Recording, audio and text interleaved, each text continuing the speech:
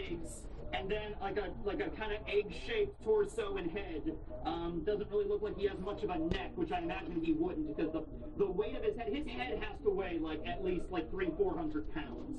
So. Just,